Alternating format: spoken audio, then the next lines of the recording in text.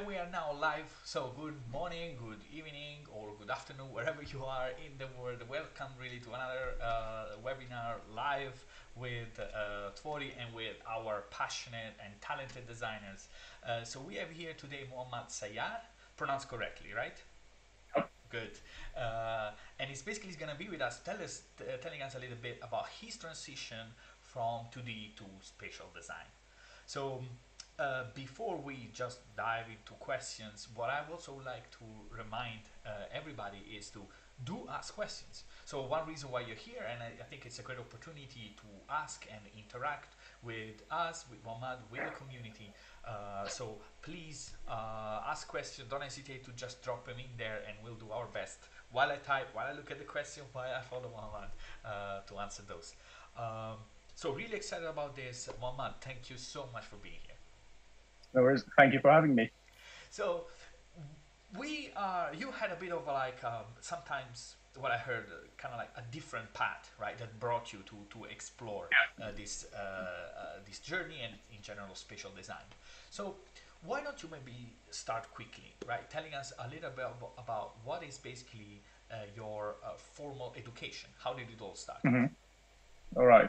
So my journey into design generally was a bit kind of different because I studied electronic engineering back in university. But when I was studying um, my major, I was involved in the design, and it's been almost 15 years that I'm in, in the design industry working as. I started as graphic designer, working advertising, um, print design, marketing, and then um, I think it was around seven years ago, which I shifted and, and more focused on the digital product design, designing for web applications, for mobile applications. And that was kind of the, the entire journey, brief history of my journey into design. Okay, so it started basically as engineer, then 2D design, and then moving more into digital, uh, yeah. into the digital world. And um, so, and, and how did you ended up there? So, uh, what what was the trigger? What was the drive to move from being an engineer uh, to into something that is more creative, right? Because engineering and creativity are not those those things that really match really well together. How did that How did that happen? I wouldn't say that. I think okay. engineering is could, could be a really um, creative discipline as well.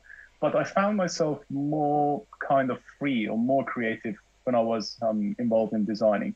It is funny how I got started in design because I, I remember um, in two days we're going to have um, Persian New Year, and I remember it was like 17 years ago, Persian New Year. I was on my cousin's home, and I saw the playing with some software called Photoshop, and I got interested. Obviously, back then I borrowed the CD. Wasn't any Those license or subscription. exactly, no subscription, no planning. Um, copied that, installed, and started working with Photoshop and I got so excited about the possibilities. That's basically everything. I saw everything is possible. So you could mix and mix things together. You could come up with new ideas. You could create literally from scratch. And that was really kind of inspiring for me. Fascinating. And, and it was also like wonder, this is so close to the stage we are now with immersive reality, uh, with immersive technology, and maybe we are getting ahead of ourselves. But I think that we are going to experience similar path. Uh, for that. And uh, and then so that was the 2D part, right? That got you into the yeah. design as a whole, and that that interest into instead the, the spatial aspect of it. How, how yeah. did that how did that happen? Because I believe that many of the people that might be listening uh, to us uh, might be in a similar situation where they have a background in 2D design, they are creatives, mm-hmm. and they find this interesting, appealing, exciting. What was it for you that got you into into this spatial design? What got me into spatial design? I think the first trigger was with um, Google Cardboard six years, six, seven years ago. Um, as soon as I tried that, I thought that's it. Because one of the things that I had with my career um, always is, was that it was the thing that I couldn't pick one discipline. I was um, jumping between different disciplines, trying motion design, trying um, a bit of VFX, graphic design, print design.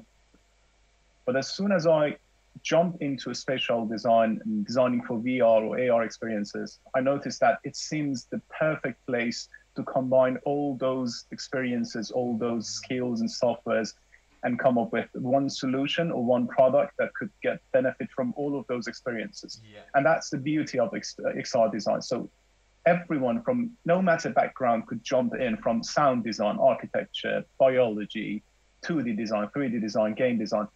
There's so much room for everyone, not even designers, but developers, for everyone that are that are basically interested in that area. They could easily jump in. Yeah. Um, not easily, but they could come in and start agree, experiencing that. And I also think that many of them could also have a real advantage. Uh, in a sense that if we think, for example, very often is that the 2D design that makes this transition or is interested, mm-hmm. but an architect has a completely way of thinking when you compare it to, to someone that is designing on a flat surface. So all those kind of people uh, that are instead that, that think differently, for which brain thinks differently, I think that exploring this area, I think it's something that is could really benefit the, the industry as a, for, for, for sure, and then also them because it's it's a new way of applying their skill to something that is actually, uh, um, let's say, in their need of their support. Let's say. True. Uh, True. And um, so throughout this journey, right? Uh, mm-hmm. Throughout this this learning journey, um, um so I hear Inga saying, "Can we hear you?" I think everybody everybody can hear me, right? Uh, I, I would say assume yes because otherwise they would have told me. Uh, but the question was, um, throughout this journey, what is um, okay? Okay, so there is just a slight thing. Well, we are gonna move ahead. Um, what were basically the skills that you have got, right? What were the skills that you couldn't live without? uh, that were key to allow you to really start creating something? I think the first thing that you probably need to understand to have a basic knowledge about is just to understand the, the basic knowledge of 3D, not being a 3D designer, not being a 3D artist and jumping in deeply, but to understand how that works, like knowing about like what's texture, what what's mesh how do you design a not not design what's the differences between low poly and high poly resolution lighting and the basically the basic of the spatial design. That's i think the most fundamental skill that you need before trying to design anything for xr okay. So and with regards to um, the the kind of like the, the i wouldn't say the mindset but the kind of things that you really need right? So if you say, mm-hmm. so you are a 2D designer, you have been, for example, having a lot of experience with Photoshop, Figma, it's like, what would be the next step, right? So, okay, I want to start creating something. How am I going to do it? Am I going to download something from Sketchfab, for example, and mm-hmm. try to play around with it in AR? Am I going to, um, I don't know, uh, maybe you, you start learning a bit of Blender or, or I don't know, or use maybe anything. So what, what would you give as an advice to someone that is approaching this? Because actually we have got questions like, what should I use mm. to start doing it, to, to, uh, uh, to start in, in spatial design? So what would you say? Mm. That's a really good question. Um, I actually prepared a few kind of 3D presentation to talk deeply, deeply about those things. But to answer your question, um, it could be really overwhelming if you want to start design for XR. You, you see, you go and read, okay, I need to learn 3D, I need to learn how to code, I need to learn um, how to develop and push these things. I need to have access to a VR headset. I need to have access to a PCVR ready and those all of those hardware, a cable and stuff like that. But the good point is you could start with whatever you have, no matter what.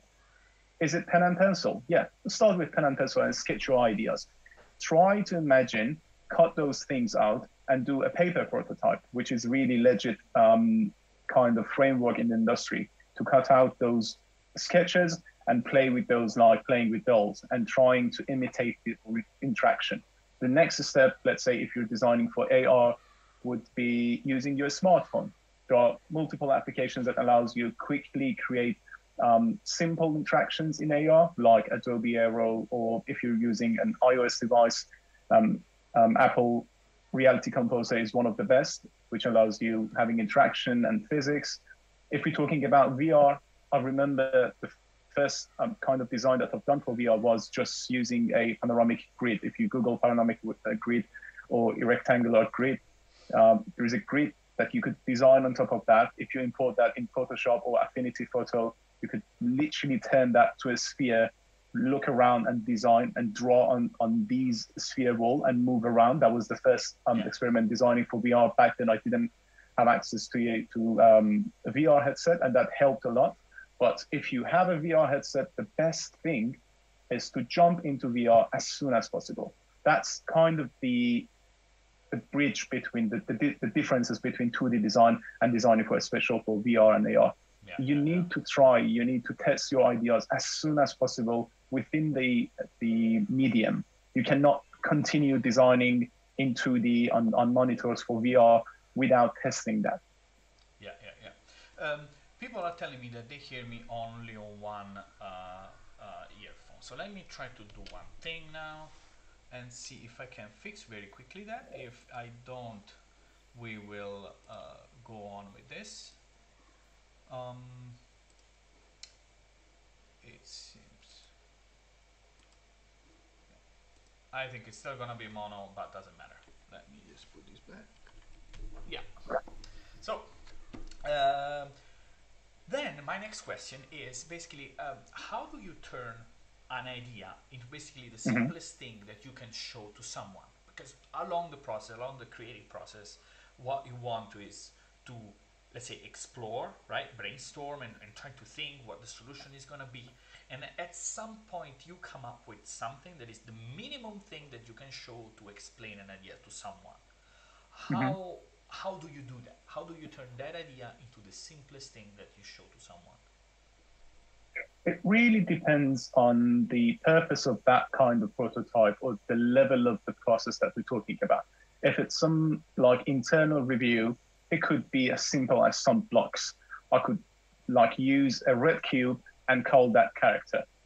So every designers could assume that's the character. I could have another cube, color it black or blue and call that enemy that's fine for this level. But if we're talking about reviewing or showing the concept and having like a meeting with the stakeholders, which are non-designers, you need to go with a, we need to go deeper. You need to come up with better design. So that that's when you could use um, prototyping tools like Tvori. That that is really helpful. So sometimes, I mean, I do usually start from blocking in VR. So I jump in, I use the primitive shapes to put together the idea to see if it's physical, if it's really um, um, kind of affordable in VR. And it's because sometimes you have ideas in your mind which are crazy or not doable. So you need to basically turn those things to some something tangible, and then you could progress. You could replace those with models from Sketchfab. If you don't know how to model 3D, that's absolutely fine. There are millions of amazing uh, free 3D models out there already rigged, already with texture. You could import those from Sketchfab, from Poly, and play with those kind of things. Yeah. Poly until it lasts. Uh, uh, no, uh, I do have one thing that I want to ask, guys. I haven't seen any question, and that makes me feel very sad. Uh, I think also Mohammad is very sad uh, even though it doesn't show.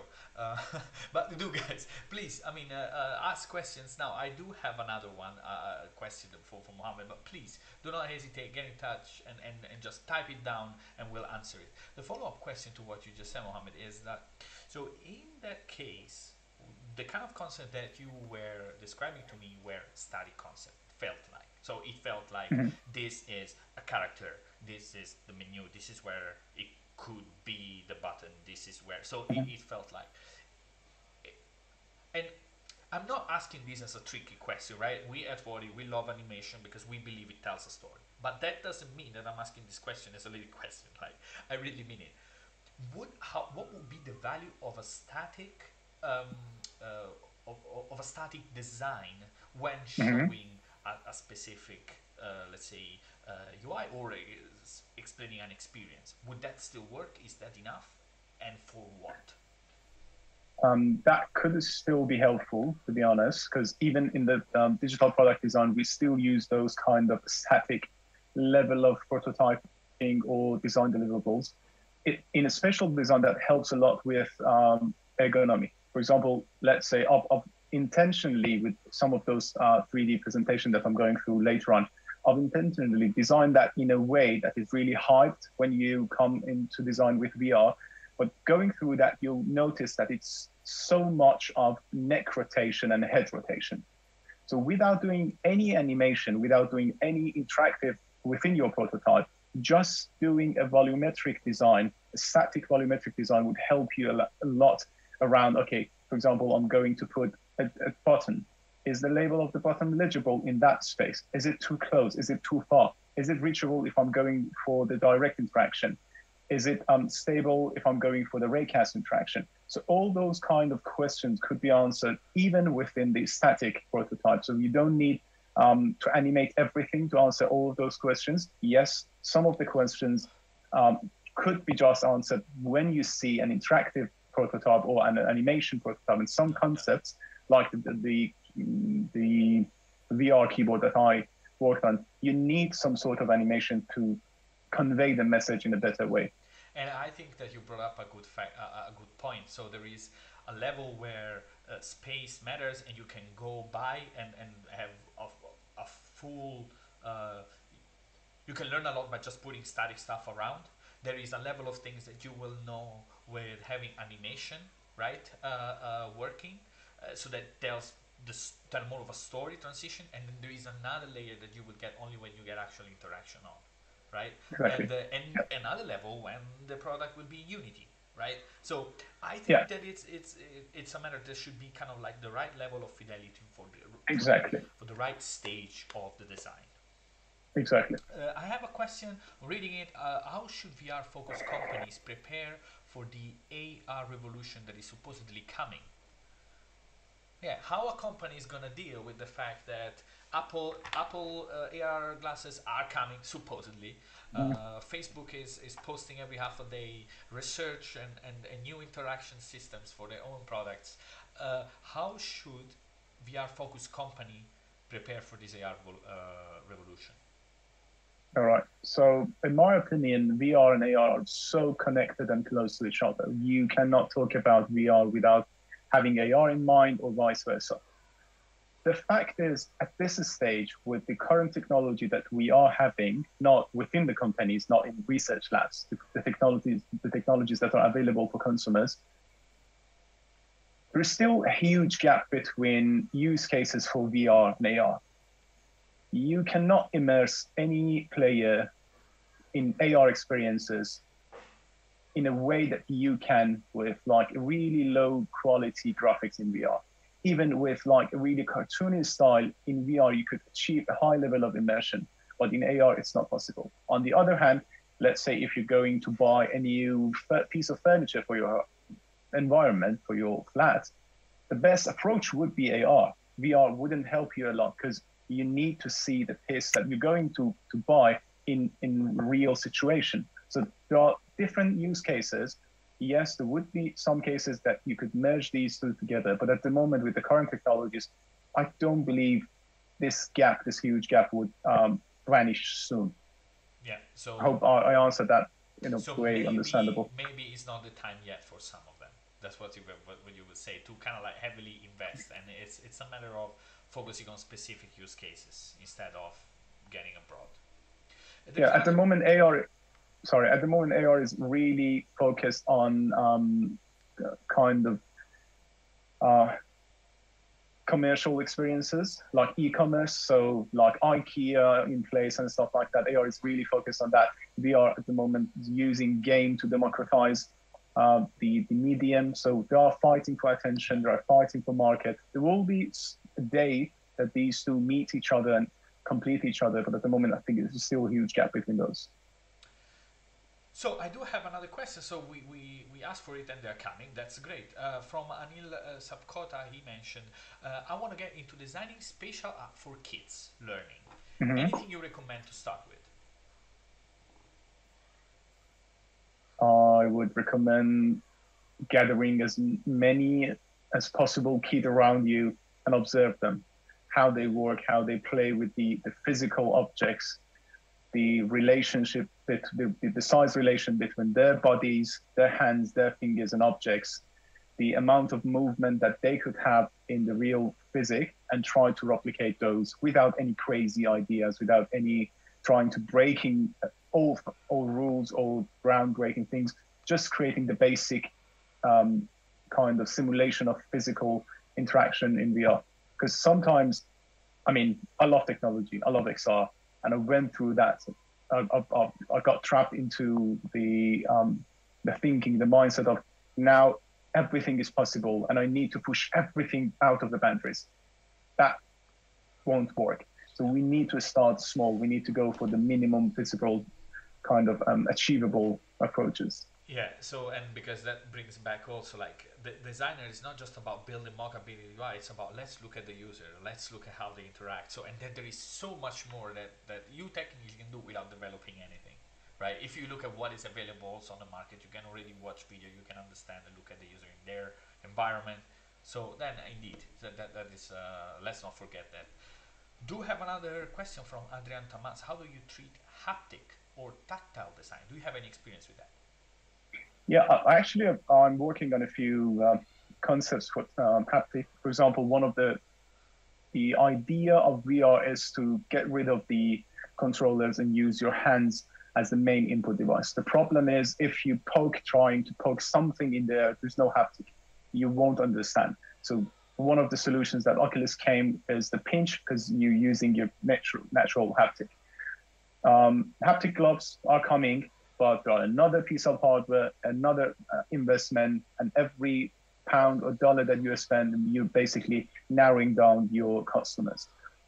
Uh, there's another thing that's really interesting is the neural interfaces. So following the same electri- electronic signal that comes from your brain to your muscles to activate, they're reading those, and eventually they could affect that. At the moment, they're still in labs, in research labs. They're not out there to be used, but um, haptic is really challenging um, area when when you design for VR or AR um, experiences. Yeah, yeah, yeah, yeah. And by the, uh, the way, Adrian, uh, there was also another article from ETH Zurich.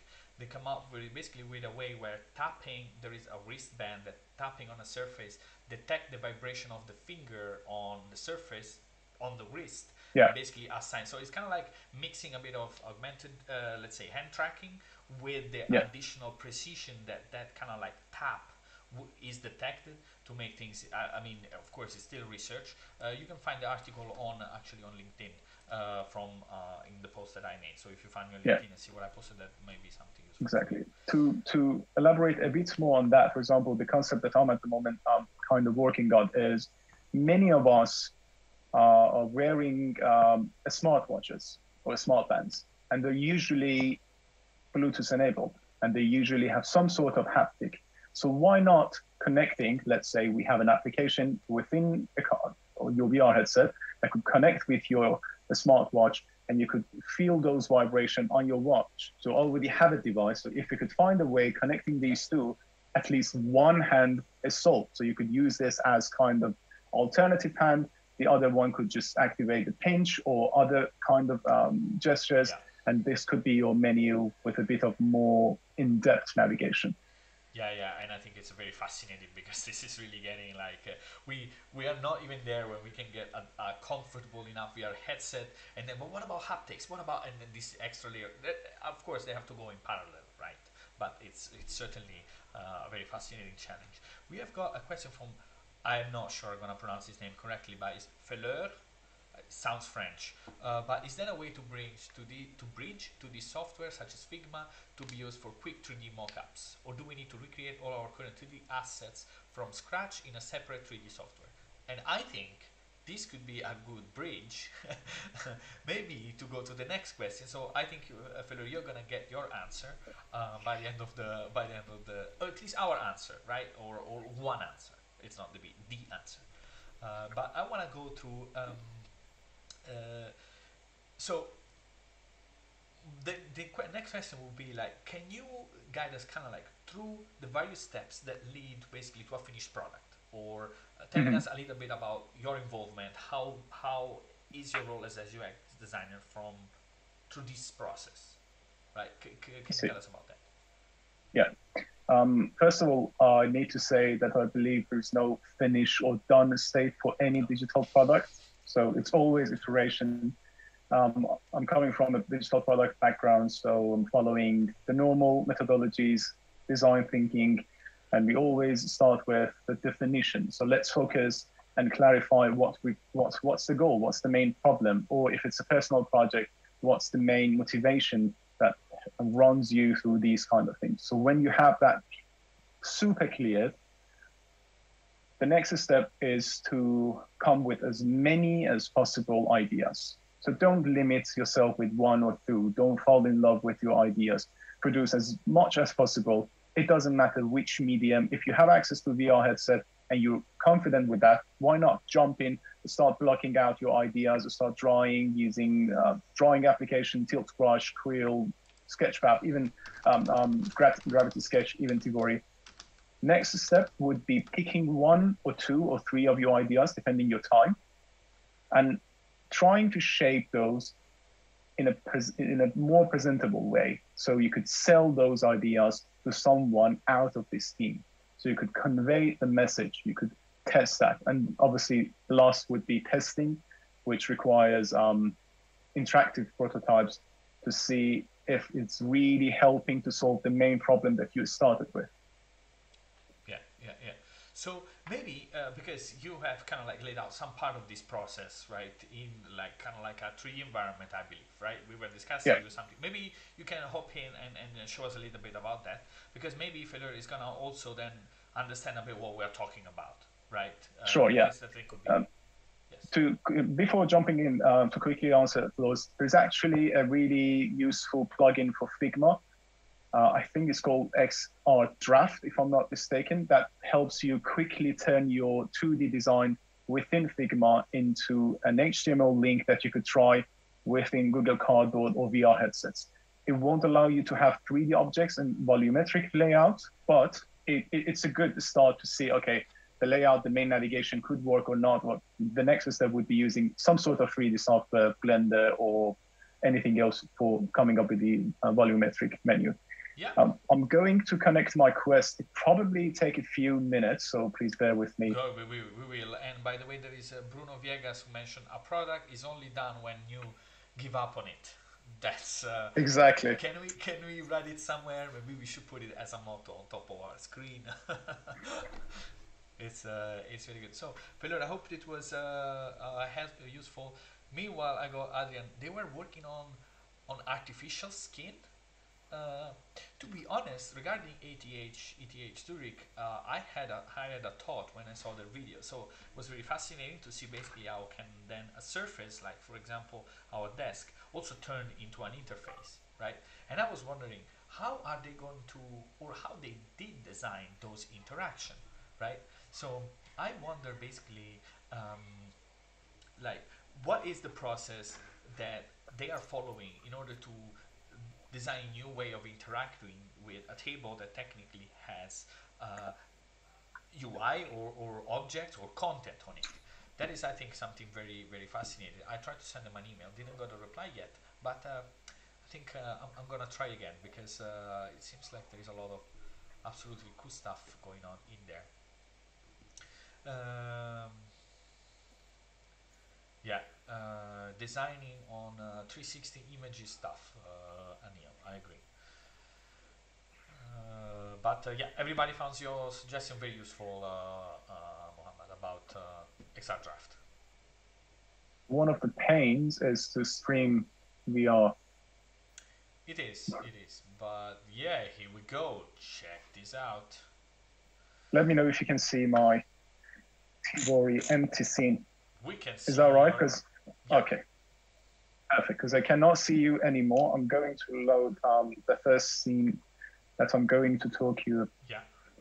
about a bit of the kind of process behind things. Obviously, this is not meant to be the answer. This is not meant to be the best or the only solution. This is just the way that I'm using at the moment, um, and it's based on my learning, So could be used the, the first scene is a bit um, heavy, so it will take a couple of minutes to load. Yeah, here we are.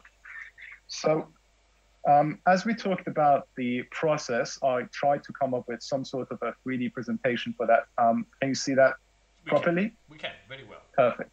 All right, so um, as I said, I usually start um, defining the problem to, to uh, capture as many areas uh, around that problem. Then I'll jump to I'll jump to ideation. So to produce as many as possible ideas, I'll pick a few of those and jump to prototyping. And the, the important thing is testing those ideas and not shipping those quickly. As Bruno said, everything from test needs to go back to definition, go through ideation, prototype, and, and test. So it's basically a circle that goes again and again and again till you have something um, shippable for your customers. And that's not even the end of the journey because you learn more from the actual use cases, you apply those, you see, you face new problems, you ideate for those, and it goes on and on. Um, another thing that I wanted to share with you is because I've been asked many times how we could start, what are the, the things, the tips, if you will, to, to start with um, kind of designing for XR, designing for AR and VR. So I tried to come up with kind of five easy steps, um, which I believe by following those, you could jump in.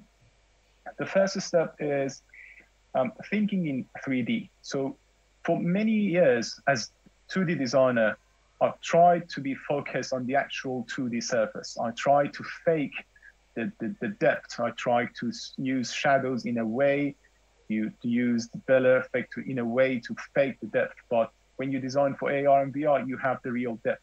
And it's really important to think in 3D and get rid of the traditional 2D canvases as soon as you can. So if you have access to a VR headset, if you have access to a smart um, phone that is AR enabled, please jump in as soon as you can.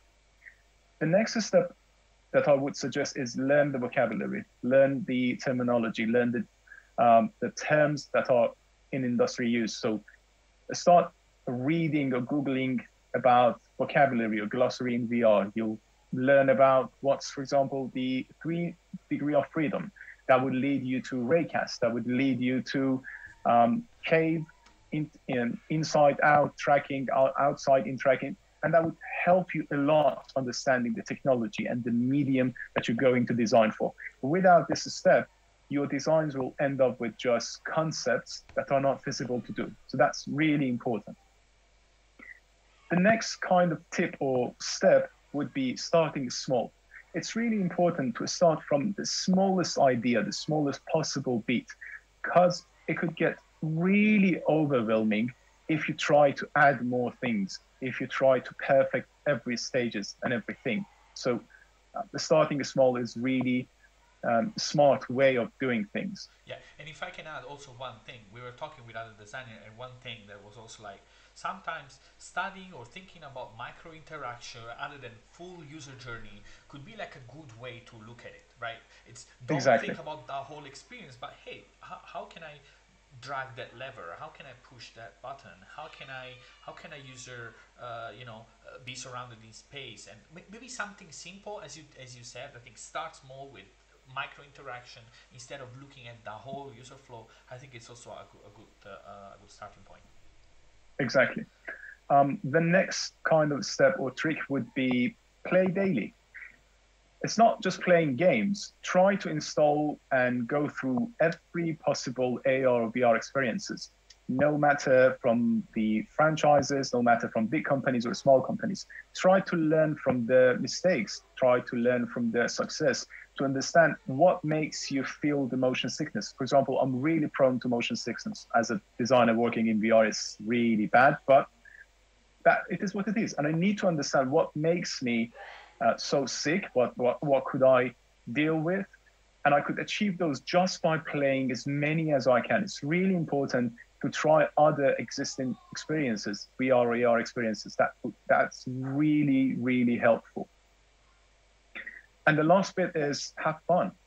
really have fun. Try to make it fun for yourself. These icons that you can see, I have uh, created in um, Adobe Medium, which is another VR application. These are not perfect. The mesh are absolutely rubbish. And I'm not a 3D designer. I just enjoy creating those things. And I'm keeping those fun for myself because if I focus too much on problem solving, on coming up with feasible solutions, it could easily burn me up. This is the, the experience that I talked about. So this kind of dashboard is one of the pattern that you could see in almost every VR concept.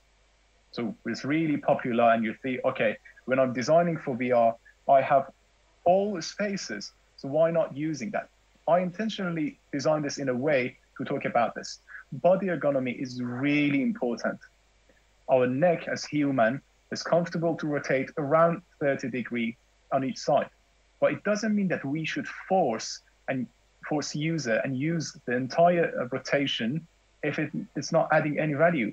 I could have easily arranged these vertically. I could have easily make those in two rows and focus in, in such a small area and have user focus without rotating. Because imagine I'm standing here, I need to rotate here and rotate my neck fully back to see, to read those kind of things. Legibility and having these items in a perfect um, uh, ergonomic um, situation is really important. So I think we should avoid um, going for just fancy designs and without uh, thinking uh, those thoroughly.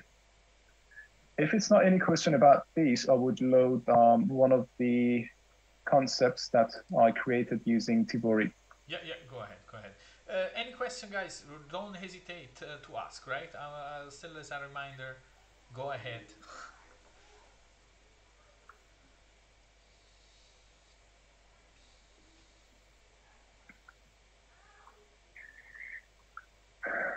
Okay, so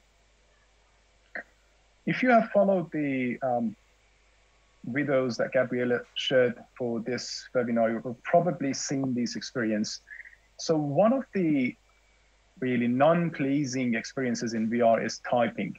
So there are two main methods for typing in VR. One, which you could call drumstick. You always have sticks attached to your controllers and you need to literally tap on the keys to type. So it's really tiring. You could say that I need to move my wrist so many times to type a sentence.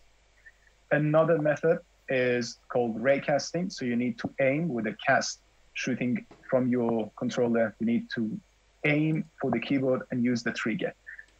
It's really shaky and it, it's not fast enough. So I tried to come up with a concept to help with typing in VR at first I started, okay, one, not using the thumbsticks and doing the same kind of interaction that probably you experience it with um, Xbox or PlayStation trying to type with the controller. So you use the thumbsticks uh, to go through the keyboard keys and use the trigger. Then I realized so many times that I'm in VR, I'm in a sitting situation and I'm landing my hands on my knees or somewhere else that's easier for me to type instead of holding my hands always in the air trying to stick or trigger. That leads to this concept, which you are going to see.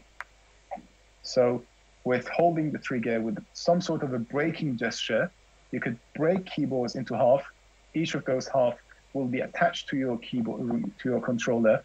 And no matter where you're um, moving this, it will follow your controller and you could still use that. So you break the keyboard, you use your thumbstick to explore, to basically hover around the keys, and you use your trigger to type in.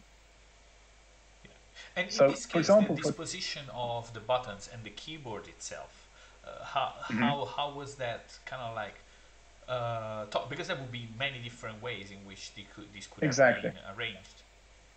Exactly. So, for example, uh, back then I used um, Microsoft Maquette to block different ideas I came up with. Now, laying these keys around as a circular, I, I came up with having the um, control keys like Shift and Return in a different position. So I came up with a few ideas, but at the end, we need to make sure that we are giving kind of a similar experience to people because people are so used the current layout of their keyboard.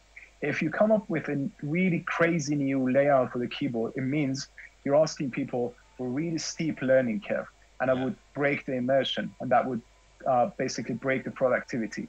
when you even now, if you jump between different VR applications, you'll understand, for example, the grab button, this button here, do does many things in different applications. And that's not good because you expect the same behavior as a user, you expect the same behavior uh, of a, single button in many applications. But so because of those things, I tried to come up with the simplest layout for a keyboard. But then I do have a question here, right? Because so you would say, okay, then people should be consistent or should find a consistent way to kind of like uh, for, for some kind of like experiences, interfaces. So th- there should be kind of like a consensus. But yeah. the fact is that currently it's kind of like the Wild West, right? So everybody's trying something exactly. new. And that is also good because people are discovering new things.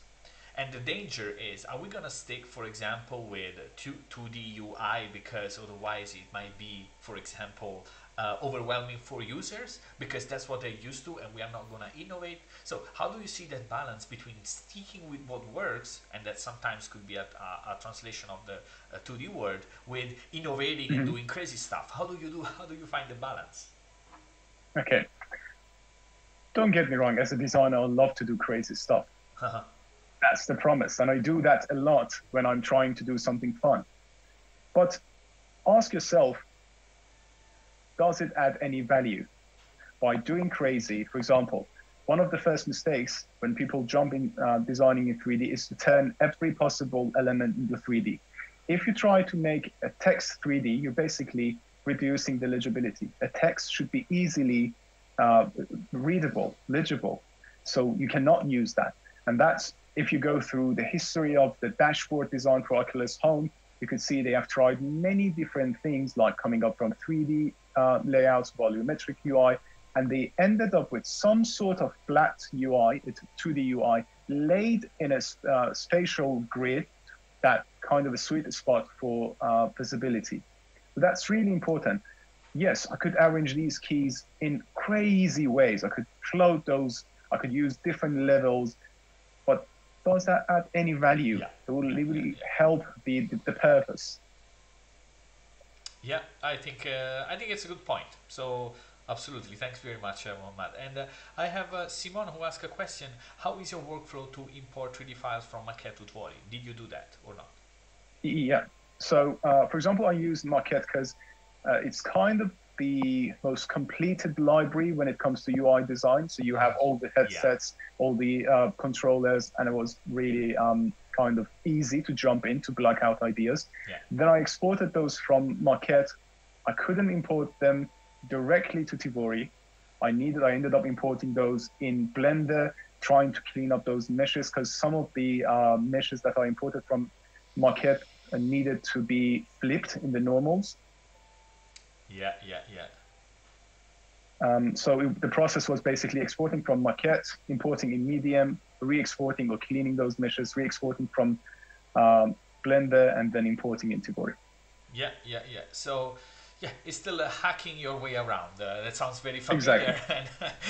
exactly. It, it's kind of like everybody's responsibility and nobody's fault in a sense. Uh, yeah. So I see. Yeah, you're going somewhere else. Meanwhile, guys, uh, I hope that was useful, uh, Simon. Uh, by the way, Gravity Sketch is also something very nice uh, because uh, some of the 3D models are great to be made there, and they have a tool that that flips the normals uh, because that that is really like uh, tricky.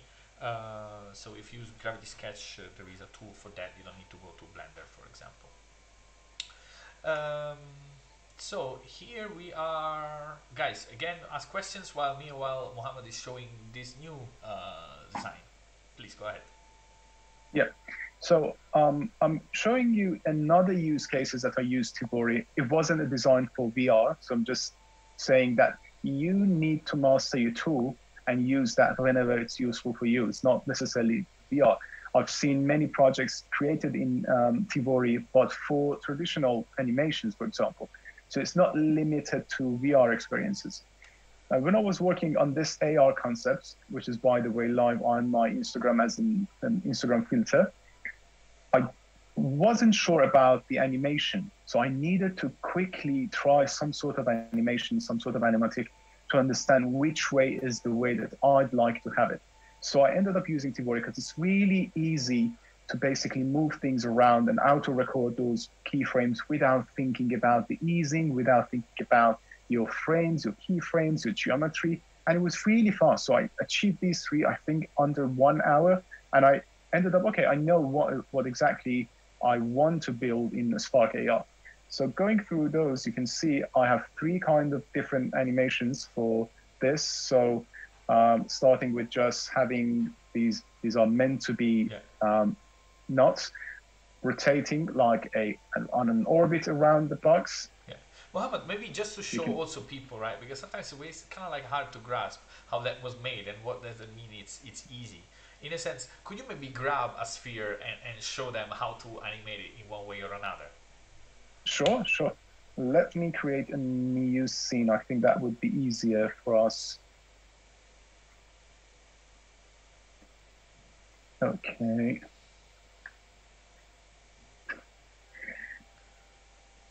So um, I'm not sure if I'm using my windows in a way that is yeah yeah it's really visible. It's, it's pretty broad, pretty wide Perfect. angle. Yes.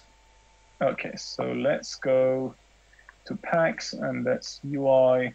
Not UI, probably primitives would be better. So I grab this sphere to make it a bit look better. Let's give it a color like this.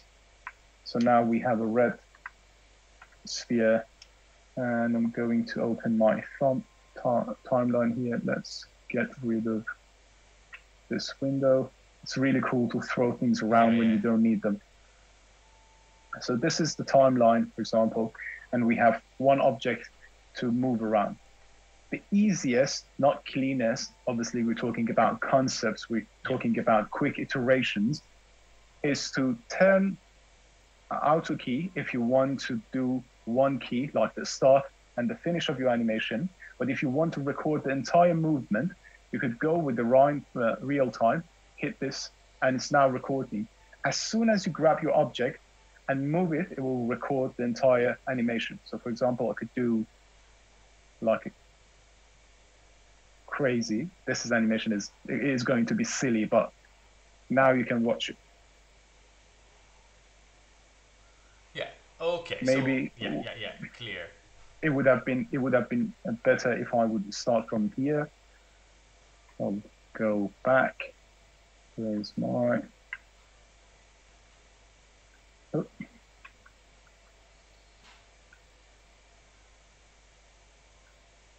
Like this. I don't know. Sometimes this happens. Yeah, we, we, we make a new one. Yeah, it's always the case. If you end up seeing new one works better. So another time, yeah. real time, I'll grab this, and yeah, now you have kind of a falling animation. As I said, it's not clean, it's silly, but it's quick in terms of understanding your animatic. It's um, easy to understand your goal. If it's really the thing that you want to achieve, now you could go back, tweak those keyframes, or come up and replace this with the actual model. Let's say you wanted to drop to do the same animation with a cup. So you don't need necessarily to start to start with the actual final model. You could start with primitives, do your animations, replace those, or then refine your kind of animation. Yeah, yeah. Is that enough? Yeah, yeah, absolutely. Because then we, why, if you could go back to that scene, and then I would ask you, for example, you have for you have made three kind of like different ways for those, let's say, cereals or sphere, however you call them, uh, to basically move. Uh, just curious, why did you pick one other than another? What was that worked better for you, and how did you make that decision after creating that little concept? I tried to make sense to find the rationale, to find the logic, because uh-huh. then, okay, what's the reason that you're rotating around this? What's the interest? What's what's the intro? How the scene would start? Mm. So this one looked like a loop. So I didn't want to have a loop. I wanted to have a start and finish. So that was the main reason that I crossed this option. And then I had these two kind of things. The one, the cereals jumping from the back. Yeah. It was nice, kind of exciting. But I thought, okay, maybe we could imitate the same uh, kind of movement that you have experienced using um, pull, basically pulling your ball every day. You're really uh, familiar with this sort of animation. If we go with this, you can see a better view of that. Not this one, the second one. Yeah, this one. So this is this kind of animation that you see every day using opening your box and pouring it in your bowl. So I thought that would be more familiar Mm. and that would help a lot. That was Okay. kind of the rationale behind it. Okay, and of course it makes does make a difference to kind of like see it once you have done it, other than kind of like imagining it, right? Yeah. Uh, yeah, and and it also depends like how quickly can you create something like that uh, in order to basically like assess it. Right? Exactly. Because if it takes uh, uh, two days uh, to animate each one of them, or maybe you don't know how to do it, because that's also a very different Exactly. important topic. Huh? Yeah, that's the main point. Because when I started working on this, I wanted to have this animation. I thought this is the best idea that I could come with. But as soon as I quickly created that, I thought, nah, that's not. That's not the, the one that I want. It doesn't feel right. So I iterated, I came up with three different, and then I picked the one that I wanted to use. And I think that's it. That's the one that I wanted. So being able to quickly put your ideas into some sort of a test, it's really helpful, especially when you talk about 3D, because it's time consuming, coming with concepts, coming up with models, with the timeline, and hitting the render would take, depending on your hardware, your graphic card, your CPU.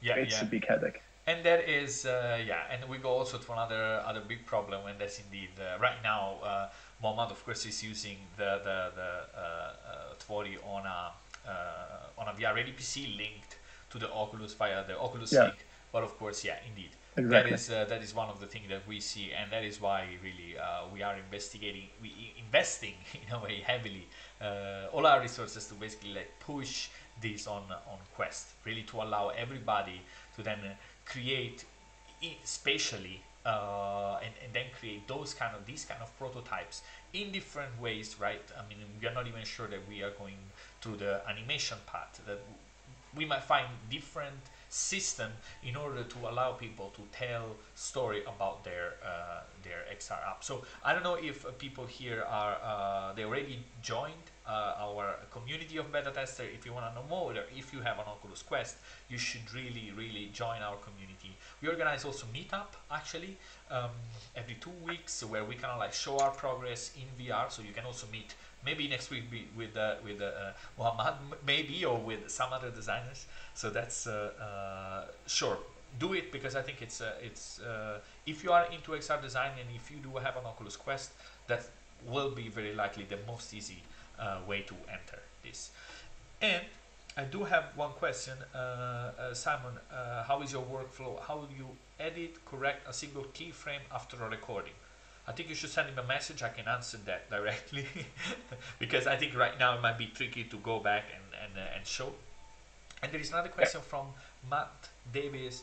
Can colors and text treatment, for example, bolding, be edited uh, frame by frame? So Colors and materials, yes, in Yes. Yeah. But the text, if you if you're asking, let's say, turning a button, a, a text label like Mo to Gabriella, at the moment it's not possible in Tvori. no, exactly. Uh, You could do some sort of trick. Yeah, you could do some sort of trick, having two texts and fade those kind of things together, if that could help. Yeah, I, I'm not sure. It really depends, right, what, what people are after, right? So I, I wouldn't recommend it to be honest. But hey, maybe maybe it's going to it could work. Uh, but but color and materials, yes, something that can be Yeah. uh, animated. Um, guys, we are heading towards the end. So if you have any more question, I think it's. Uh, I wouldn't even say now or never because I mean, uh, uh, you can find him certainly on uh, on LinkedIn. You can reach out to him. You can also reach out to me. Uh, that is uh, absolutely possible. But please go ahead if you have any other question. So, and meanwhile, Mohammad, I do have maybe one last question, and that is what when you look kind of like down the road in six months from now, what what is that makes you excited? What what, what is like, I I I see this coming, or or I would like this to happen. Uh, what is that you would? Uh, I mean, look, I for me it's for your quest. I'm already gonna tell you because it's it's just gonna blow my mind. I mean, being able to do this with you together, it would just it would just incredible. But really, you Yeah. as a designer, when when you're thinking about how how this is moving, what would, is that you would like to just just will, will make you excited? Um, I'll I'll let you know about my biggest nightmare. I'm trying to learn Unity. It's super complicated for me, at least. I don't know. Maybe I'm too old to learn such a big, such a deep application because I don't I don't code, and that's the main reason. So my dream would be having Tvori or some sort of VR application on Quest, not being further to my desk, not being further to a PC, and allowing me to do interactive prototypes, not just animation. That would be like my Christmas dream, my Christmas gift. Yeah. That would be amazing. The interaction part is uh, it, it's very fascinating. I mean, and and uh, one thing that we were also uh, heavily thinking is about, of course, you need those interactions, you need those triggers, and how to basically yeah. allow to in a way program, but not really program, right? Because then you go exactly. back and not make it accessible again.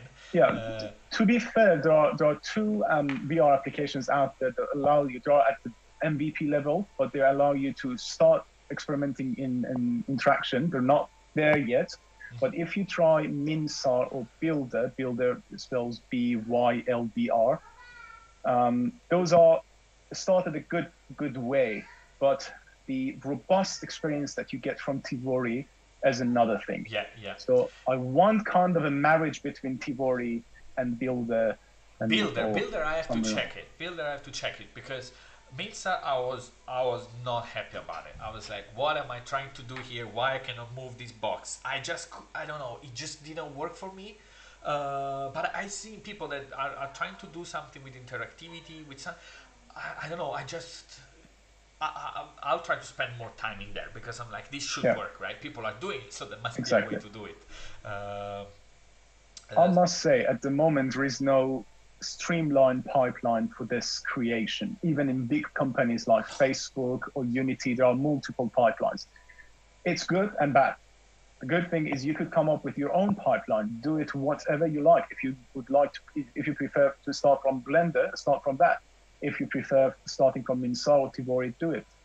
Um, bad thing is it could be quite daunting, could be quite overwhelming to a start, but if you stick with it, you'll see the payoff. Yeah, that's true. There is like any tool, there is always a learning curve, right? I mean, you always will yeah. need to figure things out, and it's always going to be uh, maybe a little bit uncomfortable. So I think that in order to make an assessment, right, as you mentioned initially, just play daily. So like, okay, you do like this, maybe half an hour, maybe one hour, just trying something out, ah, and then you go out and, and you leave. But then the day after, two days after, you go back and then you, you explore. And I think it's also dependent on the community around it and if, if people are, are willing to help and, and share because sometimes it's kind of like tricky to enter and learn and get get those things troubleshoot. So that's also something that could be uh, that, that's also uh, indeed important. Uh, I do have. Um, I have one or two more questions if we have the time. Uh, Bruno Vega says, have you guys heard about Magical Hands proof of concept for VR animation? To be honest, I don't even know how far gesture-based animation tools have developed.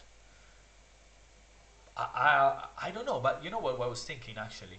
That that when we think again and we have think of, we have thought about it about um, having on Quest and using the hand tracking in order to simulate those hand interactions with the, with the pass through. Uh, I don't know if that's what you what you are mentioning, uh, Bruno, but then technically those movements with the hands could be recorded and could be used also to create simulation. But I'm not sure uh, if that's if that's the case. Um, uh, someone Mohammad suggests to check a VRTK add-on for Unity.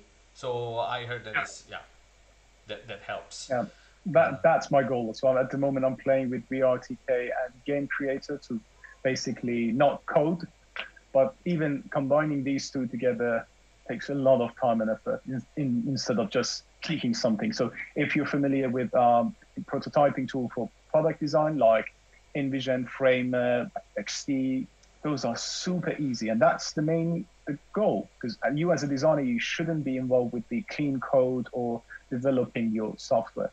Yeah, yeah, yeah, yeah. So, um, guys, I think we are uh, out of time, or in general. I mean, I think that we have exhausted the hour. So, and uh, thank you very, very, very much, Mo- Mo- Mohammad, for your uh, for your input uh, this evening. It was really, really useful to, to kind of like understand how to approach and, and how to make that transition from 2D to spatial design. What are the things that have to be uh, taken into account? So really, really appreciate Mohammad. It was a pleasure, and thanks everybody that joined right this evening.